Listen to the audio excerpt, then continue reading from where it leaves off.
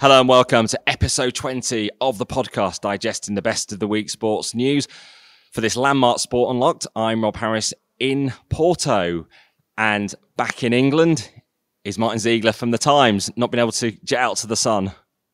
No, I think uh, you've uh, you've definitely struck lucky there, Rob. Um, and I think with you is uh, Tariq Panja from the New York Times. So, how has your uh, Porto experience been? So, in the, uh, in the in the few days you've been there. Yeah, Tariq is alongside me, both out here for the Champions League final. First time we actually managed to record some of us the pod in the same place. Interested to be back out on the road again, and actually we're broadcasting to you today from the UEFA temporary HQ hotel in Porto? Well, it hasn't been uh, without incident, Martyn. Um, a few snafus along the way, particularly for me. I uh, arrived in Porto full of beans to, to be out and about again.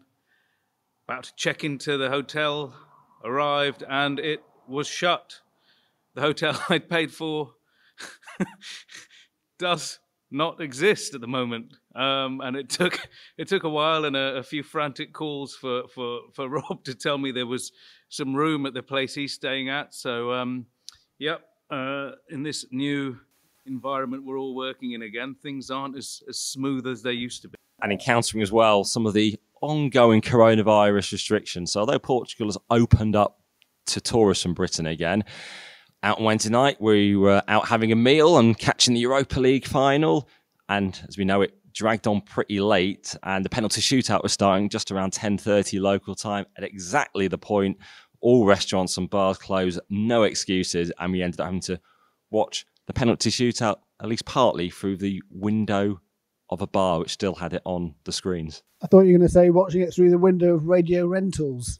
We, we were trying to find the local rumbelows. That hotel experience, Tariq, is um, sounds similar to mine in the 2002 World Cup in Korea, where I'd booked the official FIFA hotel in uh, turned up before a match, and um, I showed the taxi driver the the address of the hotel, and he uh, he had no idea where it was. I went to the local information office, and they said, "Oh, this this hotel is 130 miles away." wouldn't be it wouldn't be one of these trips, I suppose, without without the odd hiccup along the way. And I suppose, I guess, it's it's, it's part of the journey and, and, and part of the story of, of, of covering events. Well, a very much shorter journey. We're actually staring at a sign which says General Secretary's Office UEFA, and we're seeing all the various UEFA officials all wandering around here at the UEFA hotel. But one thing's noticeable from perhaps previous Champions League finals, there's certainly fewer of the sort of guests that are here flown into town, still subject to some restrictions. So it's not quite the party. They're not able to even hold big parties because there are restrictions, even when you're out and about, on tables of 10 to eat. So none of those big banquets that you get ahead of the Champions League finals. Although there was a, a dinner dinner last night, Martyn, involving the, the president of, of Portugal and, and senior UEFA officials last night. So that type of protocol event still still takes place, um, and there was still a, a, police escort for, for the UEFA luminaries from arriving from Gdansk, where they where they were at the Europa League final. Interesting. I mean, this is probably one of the. It's going to be one of the the last um, standalone Champions League finals in a in a city. I think there looks like there's sort of you you've reported on this this week, Tariq, about the moves afoot to have a uh, a, a week long um, Champions League uh, climax where you'd have both semi-finals and the final in the same city, which um, I guess would would would solve some problems in terms of fixture congestion. And I think UEFA are looking pretty kindly at this idea. Yeah, the, it seems like this is going to be decided at the executive committee meeting at the end of the year in, in December, and certainly the hierarchy seem quite keen on it. So, this comes after last year's finals from the quarter-final stage had to be played in one place in, in Lisbon in Portugal again, and was without fans, but it, it, it went off um, quite successfully, and that sort of focused the minds. However, since published the story yesterday, there's been quite a lot of um, backlash from some supporter groups who think you know they're going to be gouged for prices with hotels and, and, and tickets etc. Um, for two more games, normally the semi-finals are two-legged affairs, and they're they're held on a home and away basis. So, you know, but there's never going to be change without without opposition. Yeah, I was here last season when we had the final eight tournament in Lisbon, empty stadiums, unlike here where we at least do have up to sixteen thousand fans, and the actual format does create more of an exciting period. I think having those final games of the, of, of the Champions League, I think it's not practical to have a final eight, but a final four does have a bit of sense of week about it because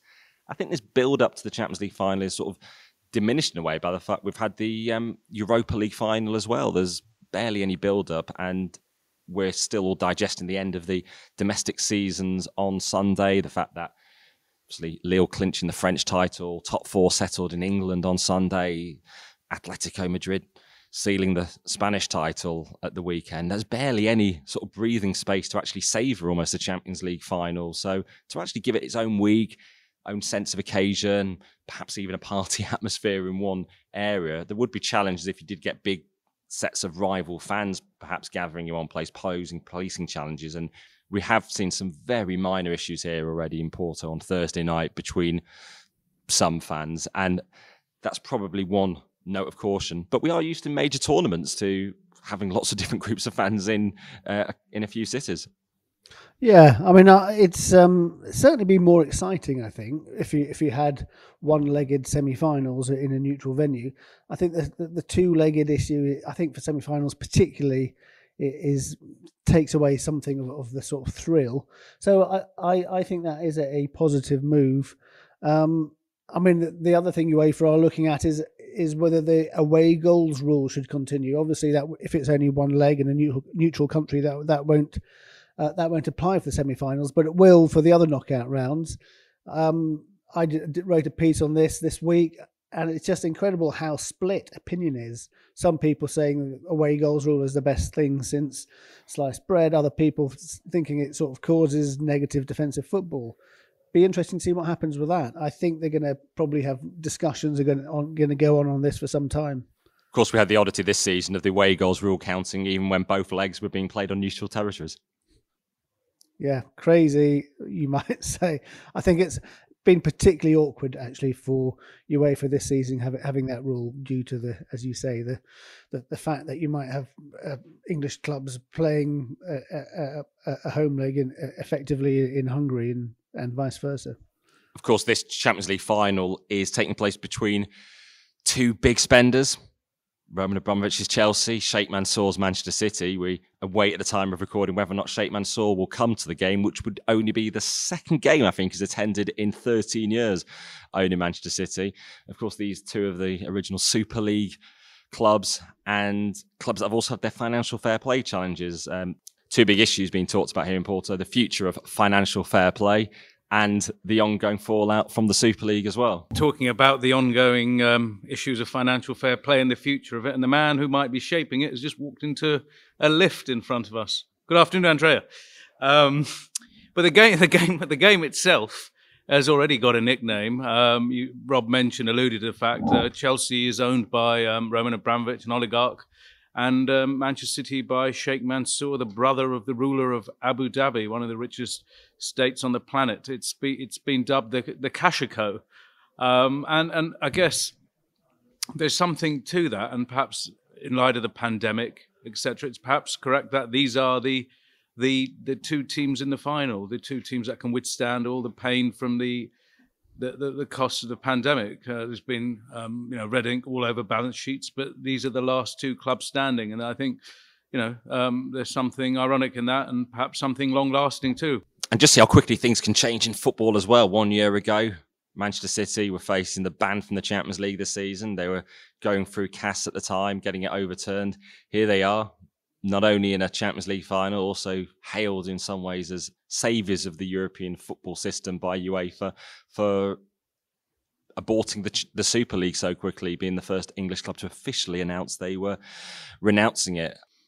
And this week we've had yet another statement from Real Madrid, Barcelona, and Juventus clinging on to that Super League vision and still not completely giving up and uh, showing they're in for a bit of a legal battle. Yeah, it was interesting. It was just now, before we started recording, Joan Laporta, the president of Barcelona, has given his first press conference uh, since he since he um, took charge of the club again, um, and he he was asked about this, and he said the club will not apologise and will not pay any fine levied by UEFA should there be one.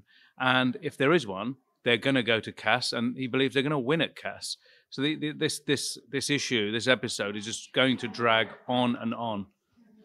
Yeah. So to me, I think they're going to. I, the way it's going to play out, I reckon, is that they will be banned. Um, they will go to CAS. They will challenge it. So they'll still be in European competition next season. But it's what happens for the season after that once the, the CAS has made its decision. Um, and you, you can see it's gonna it's gonna drag out, but it's going to be quite messy. I'm not quite sure what the the end game is for Juventus and Real Madrid and Barcelona. Is it the fact that they think they can cause enough trouble that UEFA sort of backtrack and does something to give them more money because they're in such a financial shambles? Um, or is, do they actually truly believe that they can um, force a, their their way through with some sort of Super League plan? I mean, uh, to me, that's it's. You said they're clinging on. To me, I think they're clinging on to the wreckage of the Super League. And certainly, I think from the UEFA leadership standpoint, they don't want to be seen to giving into the trio of clubs now, and certainly they can't have better peace conditions than the nine who've already accepted the forfeiting of five percent of UEFA revenue for a season, as well as that combined donation of 50 million euros. So it's how they get out of this now and what sanctions they're facing. Something I was thinking about whether or not one punishment could be keeps them still in the Champions League is wiping out all their coefficient points, taking it down to zero. And by doing so, they'd all end up in the lowest pot of the Champions League groups. They'd face tough opponents, and also they'd lose out on uh, many millions of euros of uh, revenue too from UEFA as a result of that. Yeah, I mean that that'd be fascinating, wouldn't it? And so, I mean, the the coefficient is basically um, uh, worked out on historical performances within European football. So if, if you wipe that off the slate, then you have um, the, big clubs who, who who've sort of um, misbehaved. If they if they're on zero, then they they not only do they ha- not get the seeding that they would have had before, but there's a, there's a, a fairly new cash distribution formula which was brought in about five years ago, which sees the the the a proportion of television money allotted to the clubs based on that historical ranking, um, their their their coefficient. Um, mm. This is always seen as something which is um, obviously favouring the big clubs, and it was seen as at the time as a, a, bit of a sop to try and prevent Super League breakaway talks. So ironic if that actually, uh, if your idea of going back down to zero on the coefficient would then hit them right in the pocket on that very front. One aspect, of course, relating to coefficients is the reform of the Champions League for 2024 that's still on the table. And we've talked quite a bit about how the expansion from 32 to 36 teams could see the allocation of two of those additional four places being based on historic record in the Champions League and other European competitions, the coefficient. And had that been in place this season, rather than qualifying for the Europa Conference League on Sunday, Tottenham by finishing seventh would have made it into the Champions League. But there are moves afoot now to no longer have that as part of the system for post 2024 in terms of allocating those additional spaces. Yeah, well, Martyn, that is clearly going to be a function of punishing these these twelve teams. They've tried to leverage the power they have in the negotiations over the future of the Champions League, while also trying to do the dirty with the Super League. And they've shown their hand. They they have no leverage. They have no Super League, and there is no reason why the other clubs in Europe should allow should buckle and say, yeah, those two clubs, sorry, those two positions should be for for teams with higher coefficients that's gone. But going back to, to the reason why Barcelona, Real Madrid, and Juventus are pursuing this is I think people have forgotten there was an important court decision in Madrid on the Monday after the launch, the day after Super League launched, where a judge in Madrid had basically said UEFA, FIFA, any of football's organs, organisations can no can't take any action until this case of whether they are monopolies is decided that judge has since taken uh, sent that case to the European Court of Justice, and the people behind it, not just the three clubs, but the company who is organising it, a company called A22, is is determined to see that through because it's worth testing whether UEFA and FIFA are monopolies. And to be honest with you, it, it is worth it for, for, for European football's sake to get some clarity as to how the future works. Maybe they will get further backing from, from the European Union and the courts, or there's going to be options for these teams. But it's good to have a final resolution. Well, one thing you notice around this uh, hotel is various deals are being done normally around the Champions League final, and something that Tariq has an update on. Um, yeah, interesting. Little pick up little tidbits around here, and uh, quite a big TV arm wrestle is underway for the MENA rights. That's uh, Middle East and North Africa for the Champions League from from next season. beIN Qatari broadcaster, which has held the rights for for a very long time, run by Nasser Al-Khelaifi, the PSG president and, and UEFA board member, is under pressure from a rival bid from Saudi Arabia. We're unsure where this, if Saudi wins, where it will be broadcast. There isn't a channel at the moment. Um, and um, the, the deal's also politically quite interesting because it's being brokered by um, an Israeli middleman as well. It kind of talks about the changing dynamics of, of politics in the Gulf. Um, and it's a big amount of money. It's about $600 million for three years. I understand the Qatari bid might be near that, but I think this this Saudi number is higher, um, and that will cause ruffle a few feathers within within within the setup here. That's a, a really interesting one, partly for the fact, Tariq, that um, actually UEFA made a submission to the US government um, saying that the Saudi should still be on their watch list for piracy. So if we have the situation now where the Saudis are bidding to buy UEFA's Champions League rights in the Middle East, that puts them in a very, very strange situation. Also, um, also, Martyn, what's strange is this game, Chelsea Man City, the Champions League final, can't really legally be watched in, in Saudi Arabia because it's on beIN and beIN continues to be blocked and is illegal. The sales of new decoder boxes are still banned in Saudi Arabia. This is linked to the uh, the Gulf blockade, which has thawed a little in, in, in recent months yeah, and obviously, if anyone wants to catch up any more background on that, a few weeks ago on the show, we did have someone from Amnesty on talking about how it all linked back as well to the Newcastle takeover and all the questions over human rights in the region. And it's a region that does have the World Cup in 2022, and the FIFA showpiece could be returning there as well soon. After that, that's an ambition, isn't it?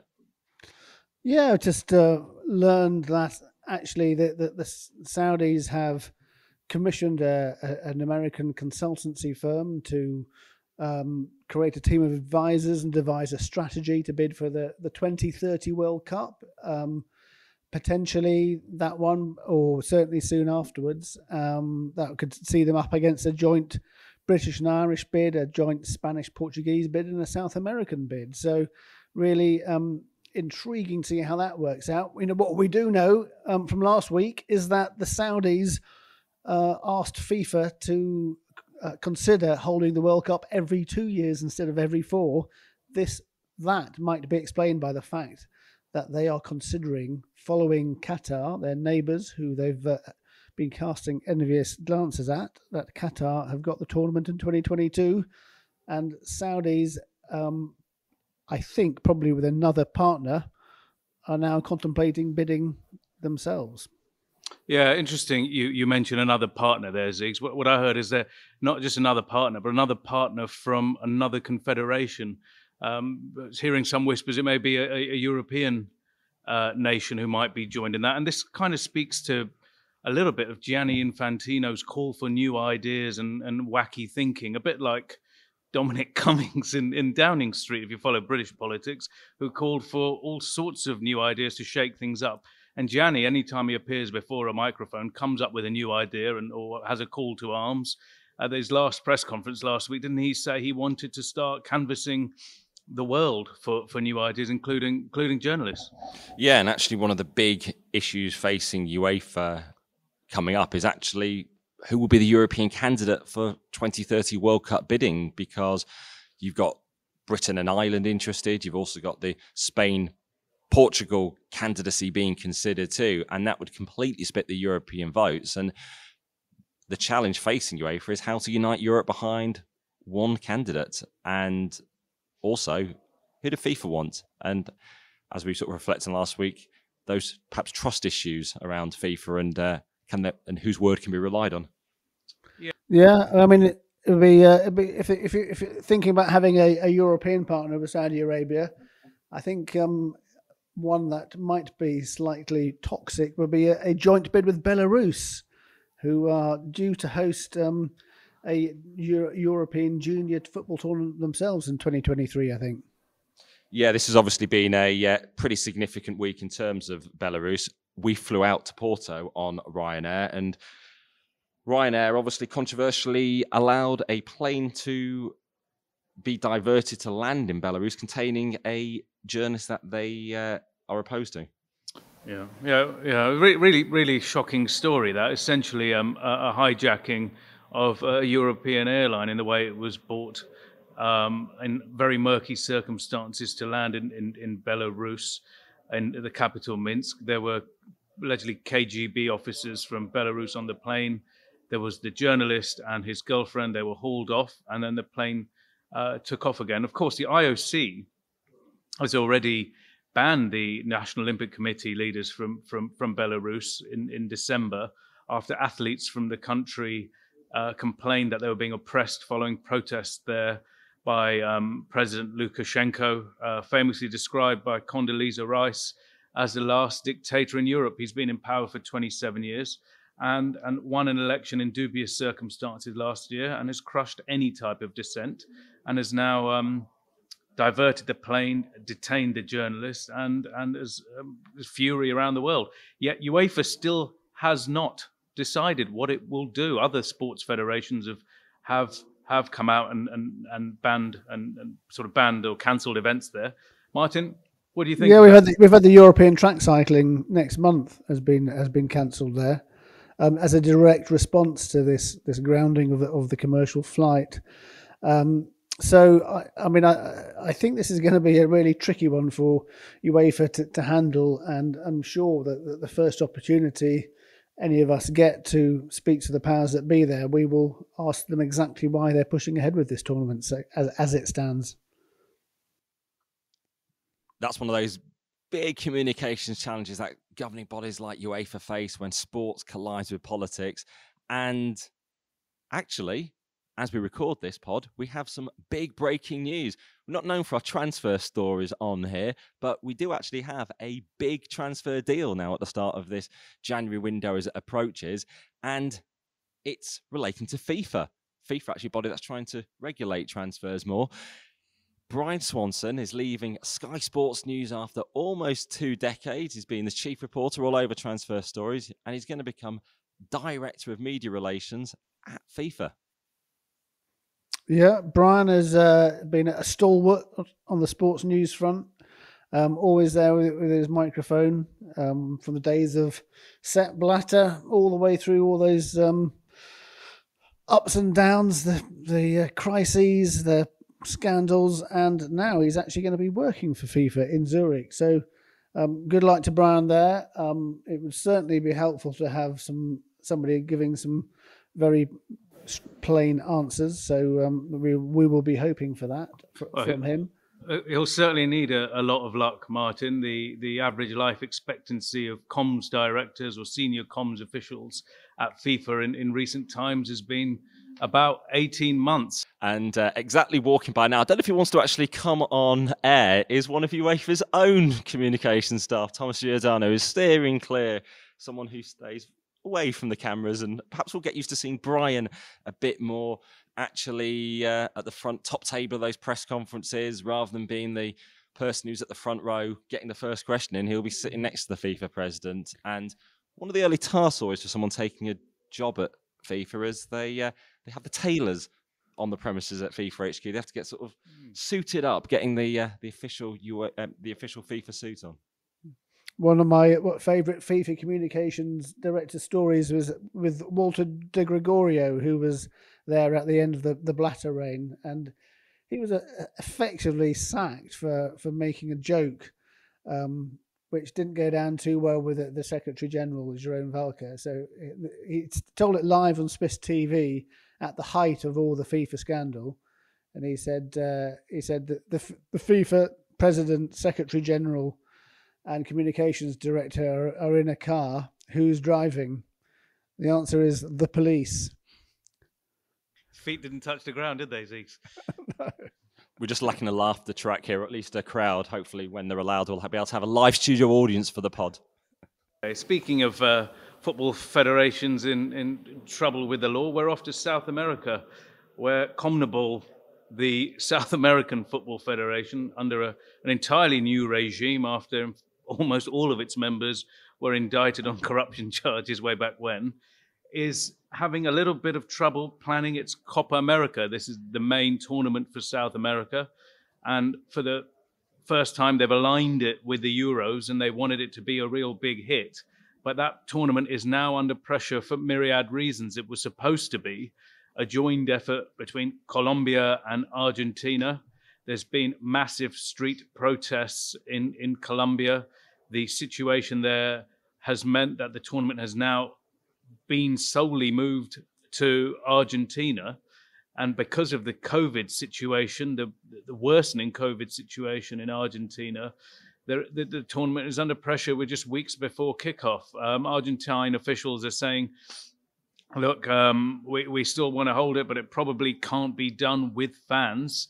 CONMEBOL, like UEFA, want this tournament to go ahead with supporters there might be uh, a last minute change with Chile, perhaps the most vaccinated country in South America, saying it's it's willing to stage it. But again, so much uncertainty uh, with just weeks to go. Martyn, I suppose that kind of uncertainty has been how we have kind of lived in the sports world for the last year and a half.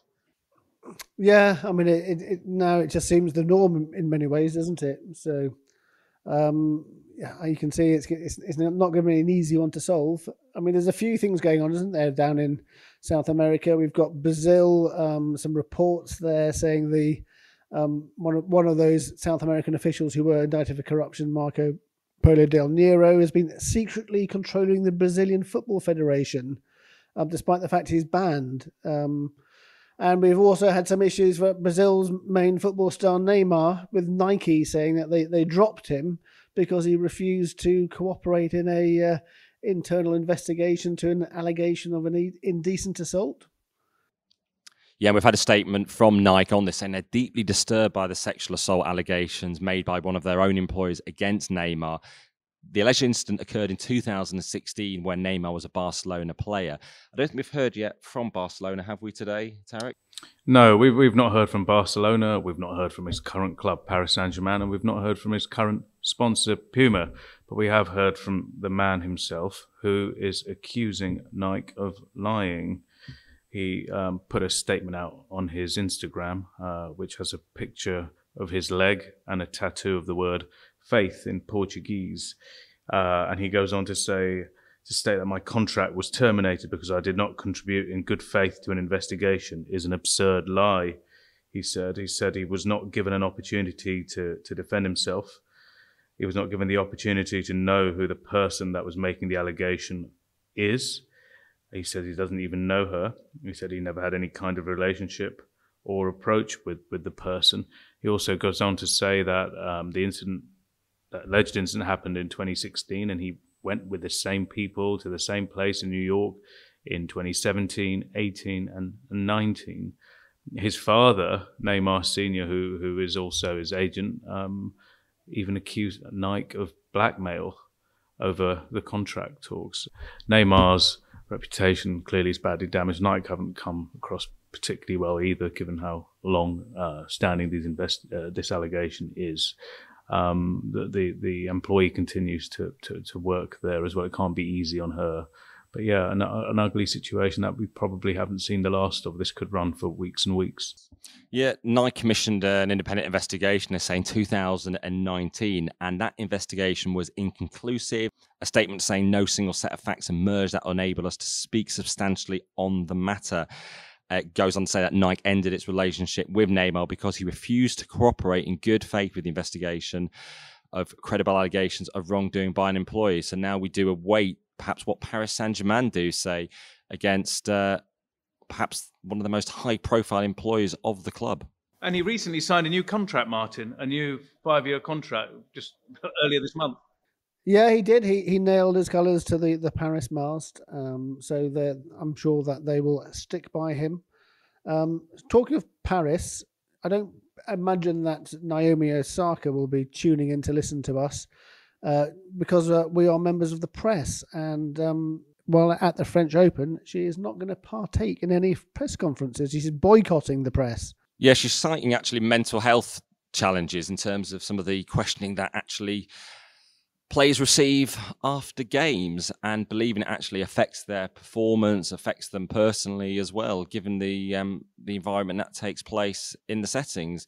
You know, we have heard from some other players too as well who are actually still recognizing there is a role to the media do play and why they want to face the media. Well, it's an it's a it's an important role. It's a vital role. Otherwise, it's just people playing sport with no one watching and no one engaging with them. The, the whole the whole kind of commercial operation of, of sports, more so now than ever before, is linked to all these engagements. The sponsors are, are, are putting their name behind these people because they're in the public eye. They're playing elite level tennis or whatever sport you want, and it's through their personality as much as their performance. And it was interesting. Rafa Nadal has come out, and he's made the following comments. He said, "Without the press." Without people traveling and writing the news, and our achievements, probably we wouldn't be the athletes we are today. We wouldn't have the recognition we have around the world. I understand her, but the media are a very important part of our sport. So it's it's pretty tough, especially for Naomi. She's got the um, she's saying she's got mental health challenges related to it. But how do you decouple sports from the, the media environment? Yeah, I think it's very difficult. I mean, generally speaking, when I've been to, to tennis tournaments, um, especially the sort of tennis regulars amongst the media, are, are very sort of knowledgeable and um, actually ask quite interesting, detailed questions about the sport. I mean, sometimes at Wimbledon you get um, you get news reporters looking for sort of slightly sort of more salacious, gossipy type stories, but I think that that's the exception rather than the rule. So I think it's um it's it's quite unfortunate for her if she feel if she's feeling that way. Um, I just hope other people don't follow that that path and, and actually embrace the media and think it's all part of the show. I think some of the way that the media athlete interactions are set up can make it perhaps quite intimidating for the athletes at times. The fact we they are often on a top table, we're at a distance in seats when we're not doing it on Zoom as we are now. So it creates quite a distance, quite a formality, where in fact very often it's a chat about sport and nothing really of great, you know, consequential magnitude and sense of bigger things away from sport have have happened. I reckon that would cut both ways. I suppose you know, you, in the heat of the moment, you've lost a big match, you've or you've you've made a mistake, and you've had to come off the field of play, whether it's football, tennis, cricket, whatever, and you immediately have to talk about the consequences or, or, or of your actions or what's just happened, and you probably haven't had a chance to reconcile what's happened on the pitch with yourself, and then you've got the white hot lights of cameras and microphones, etc., in your face. It, it could be quite it could be quite tricky to, to, to, to, to get the right words out, and that must be added pressure because every word counts. And perhaps that's a key thing because actually the way things are set up, normally that a tennis player will finish a game and the press conference is held immediately afterwards, that it creates that system rather actually perhaps the players more accessible. You might be able to sometimes speak a few hours later or the next day, and it and it actually gives time to compute what is often a difficult situation if you've lost, if you've made a mistake, or you actually want to spend some time with your family too. So actually, more flexibility in the media athlete relationship might actually avoid some of those scenarios that Naomi Osaka is trying to avoid. Mm interesting that she uh, she said this not long after um, going public with her views on the Tokyo Olympics, which she said she's not sure they, they, they should happen. Maybe an element of this is maybe there's been a bit of a backlash from some people in Japan who feel she's been some in some way disloyal. Perhaps I don't know. I'm just um, I'm just theorizing about what what could be behind this. Um, maybe she doesn't want to be asked about the Tokyo Olympics uh, on on any possible occasion during the French Open. Of course, one of the difficult issues that so often players do have to talk about. We saw it after the Europa League final where Manchester United lost to Villarreal is the racist abuse that they face online and something highlighted by Marcus Rashford after that game. Just the the ongoing scale of abuse and the social media companies not clamping down on it enough. Manchester United coming out with a pretty strong statement that was against any forms of discrimination, any forms of hatred. Yet uh, this week, I couldn't actually extract a statement from them condemning something on their own website, which was the minutes of a fan forum involving obviously the supporters and many of the club officials, including Ed Woodward. And one of the fan representatives in minutes published on the United website, talked about the type of owners they do and don't want. And this fan group representative said, I don't want to see the Glazers sell the club to some Arab billionaire, clearly singling out ethnicity of the type of owner that they don't want. I mean, and the comments published actually by United, he did say, I don't want to be like Manchester City, owned by a sovereign wealth fund. It's quite surprising as well to see Manchester United's own website recording minutes of a fan forum criticizing the ownership of their greatest rival in Manchester, as well as that issue in terms of singling out ethnicity. That's slightly embarrassing, isn't it? Something they would, I'm sure they would have wished hadn't been spotted by uh, somebody quite so eagle-eyed as you, Rob. I mean, it, there there are obviously issues for. I mean, I think one of the interesting things about greater fan involvement amongst clubs is that you're going to have situations where people are sort of quite outspoken. We, some, we have actually seen in the last week some really, really furious things from the official Chelsea Supporters Trust directed against UEFA, for example, which, um, and I think clubs are going to have to accept that that's going to be part of their furniture and they're going to have to get used to it. Yeah, it'd be interesting to see what the fans do in the stadium? Are there any protests here in Porto at the Champions League final against UEFA? Do we also hear Manchester City fans booing the Champions League anthem, something they've not had a chance to do since uh, before the pandemic started because there've not been in any Champions League games? And uh, of course, this just the start of a challenging summer for UEFA, getting this Champions League final on, and then the Euros. Yeah, it's been a it's been a long year for for UEFA and any all the football organisers. I think on the whole, um, they've managed what's been a pretty impossible situation quite well. National leagues are now finished. We're at the end of the club season with the game, uh, the Champions League final, and then we head to the Euros, which again they had to have last minute adjustments, and they probably still wait, make adjustments throughout the season. But you know, it looks like by June, July the 11th, when the final game is is played at Wembley Stadium, we might have a, a complete European football season, and that I, I would have thought would have been a tall order when we think about where we were a, a year ago. Well, for you guys in, in Porto, have you have you tried a glass of port yet? No, we're staying very professional, working all the time, staying perfectly sober as we uh, report on uh, on this game and uh, and the build up, of course. Excellent. Well, it's uh, great to catch up. Well, one of the good things about being out here is actually being able to bump into some of our listeners face to face and mention they're listening to the pod, including a big hello to Patrick Nelson, the chief executive of the Irish Football Association. He's really enjoying the pod, he said. Well, h- hopefully, until we have to mention any issue affecting his association.